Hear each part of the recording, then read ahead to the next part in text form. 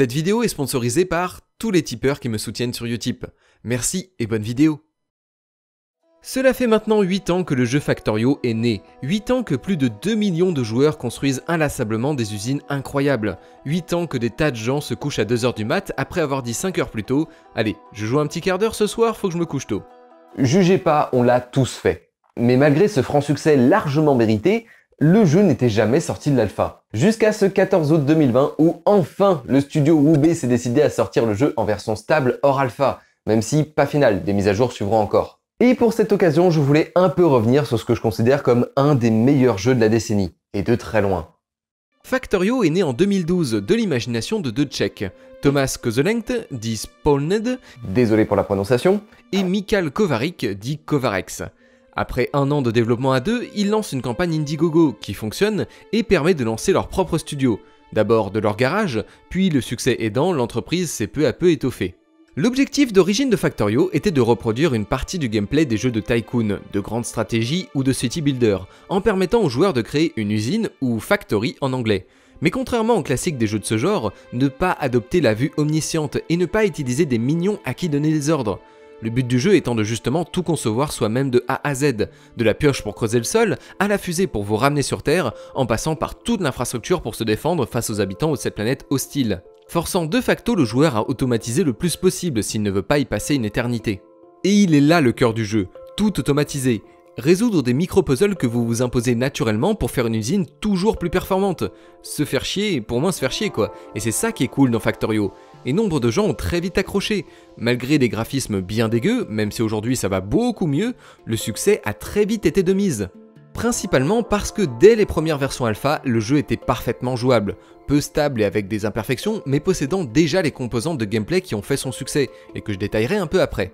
Mais aussi parce que les développeurs avaient tout compris à comment faire vivre un jeu indé proposer des mises à jour régulières mais pas trop quand même, bien détailler la feuille de route, discuter avec les joueurs sur les forums, pas juste lire les messages ou jouer la carte du silence on bosse, faire voter la communauté sur certaines questions, autoriser et encourager le modding, ne surtout pas forcer sur les options payantes et d'une manière générale, communiquer. Factorio est un modèle de gestion de studio indé. Leur blog technique hebdomadaire Friday Fact Factorio est un rendez-vous que je ne manque pas depuis maintenant plusieurs années. C'est de la vulgarisation technique précise et concise sur le jeu, particulièrement bien faite et imagée. Mais surtout, ça permet de donner plein de nouvelles sans mettre la communauté sans dessus-dessous, avec du show-off. En fait, les seuls vrais couacs de toute la carrière de Factorio, c'est vraiment le temps qu'il a fallu pour avoir du multijoueur stable et cette version 1.0 que les développeurs ont eu peur de sortir pendant presque 4 ans. Et au final, ben ça a donné un excellent jeu, et surtout incroyablement addictif. Mais pourquoi donc? Eh bien parce que le game design de Factorio est si bien foutu qu'il est capable de vous faire partir de ça pour vous faire arriver à ça en une poignée d'heures sans que vous ayez vu le temps passer. Et surtout sans que vous pensiez être incapable de le faire. Si je vous demandais de faire l'usine de l'image 2, là comme ça, de but en blanc, personne, à part les gens les plus expérimentés, ne se sentirait capable de le faire. Par contre, n'importe qui est capable de faire un équivalent à cette usine dès sa seconde ou même sa première partie, et sans aucun réel problème. Et c'est pour ça que Factorio est si bon. Mais du coup, comment il fait? Eh bien en fait, la réponse peut se donner en ces mots. Instinctif, liberté encadrée et processus de création itératif.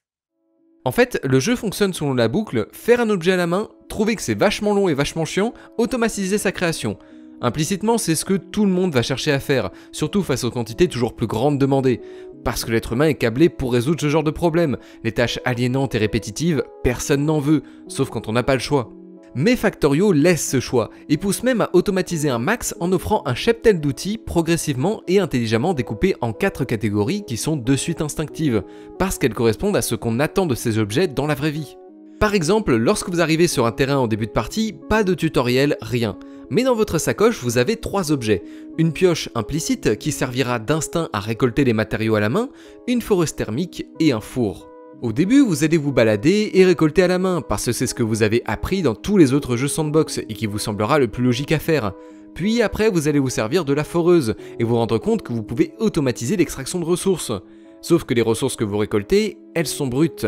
Du minerai de fer ou de cuivre seul, ça ne sert à rien mais vous avez un four, et avec ça vous découvrez la transformation des matériaux automatisés.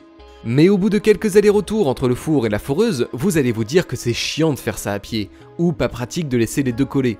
Y aurait pas un truc à faire avec les matériaux transformés? Si, des tapis roulants, et avec ça le transport est assuré. Mais tout ne fonctionne pas encore bien, il faut encore que les objets entrent dans le four. Et pour ça, un autre outil est disponible, le bras articulé. Image de celui de votre avatar, mais automatisé. Et voilà, vous avez découvert tout le principe du jeu. Sans tuto, sans indication lourdingue, purement à l'instinct. Et c'est comme ça qu'est censé être un bon tutoriel de jeu vidéo, logique et instinctif. Même si les commandes ne le sont pas forcément, faut bien avouer. Et en plus, ça vous permet de voir toutes les catégories du jeu, vous permettant de comprendre tout le reste rien qu'en découvrant les items. Vous avez les extracteurs qui permettent d'automatiser la récolte de matières premières, les transporteurs qui transportent les items d'un point à un autre, les transformateurs qui changent les items selon l'entrée et la recette, et les manipulateurs qui remplacent l'être humain dans le processus. Tous les objets fonctionnels du jeu, à quelques exceptions près, fonctionnent sur ce principe.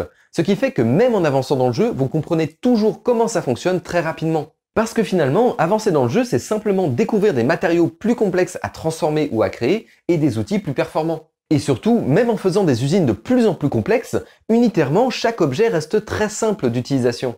Alors, je dis pas qu'on peut pas faire des trucs compliqués, hein. c'est même tout le contraire. Plus vous avancez dans le jeu, plus les options vous permettent de faire des trucs de taré. Non, je dis simplement que les objets, même vers la fin du jeu, sont toujours très simples d'utilisation, pris séparément. En fait, d'une certaine façon, Factorio est un peu comme Minecraft, c'est-à-dire un jeu composé de blocs très simples qu'il faut disposer d'une certaine façon sur une grille pour que ça forme un tout cohérent. Sauf qu'évidemment, dans Factorio, les blocs ne sont pas visuellement des cubes, mais théoriquement, vous ne jouez qu'avec des rectangles en 2D disposés sur une grille. Mais surtout, à la grande différence de Minecraft, dans Factorio, tous les blocs que vous posez, ou presque, sont actifs, et ça, ça change pas mal votre rapport au jeu. Je vais prendre un autre exemple pour vous montrer.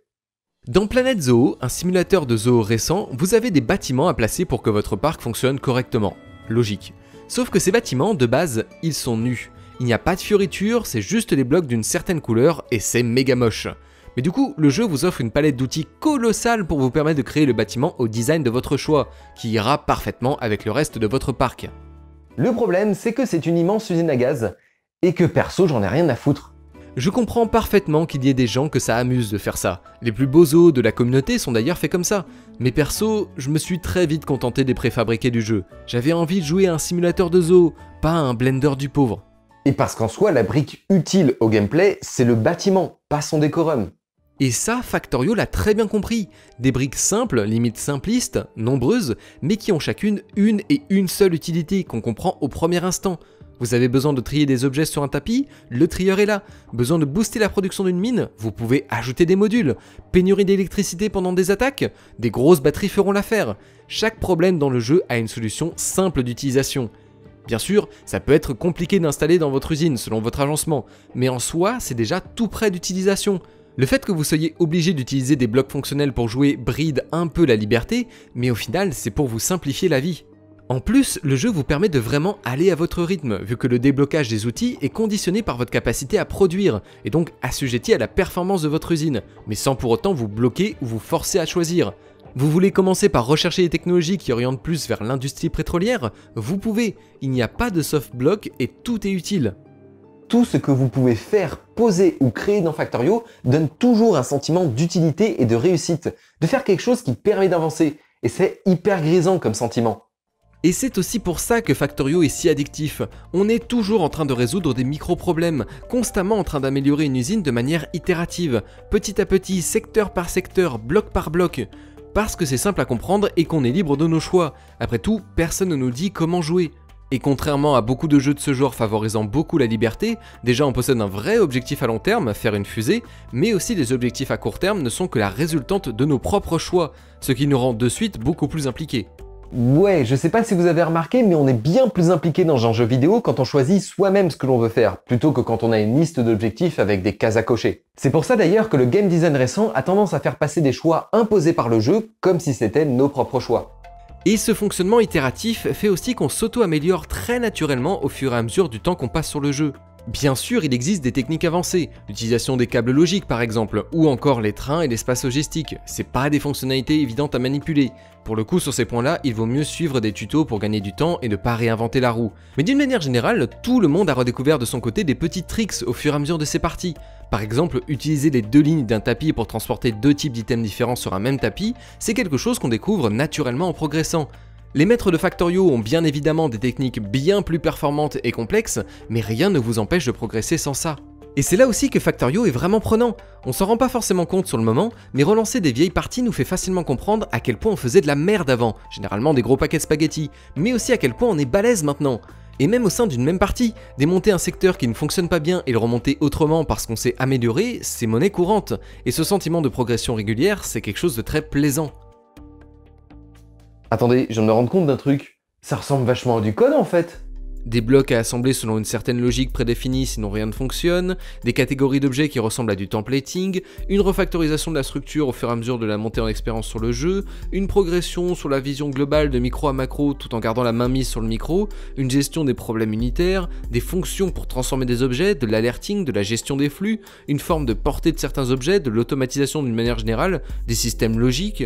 C'est complètement des mécanismes de code. C'est totalement une forme de programmation visuelle. C'est peut-être pour ça que je l'aime bien ce jeu.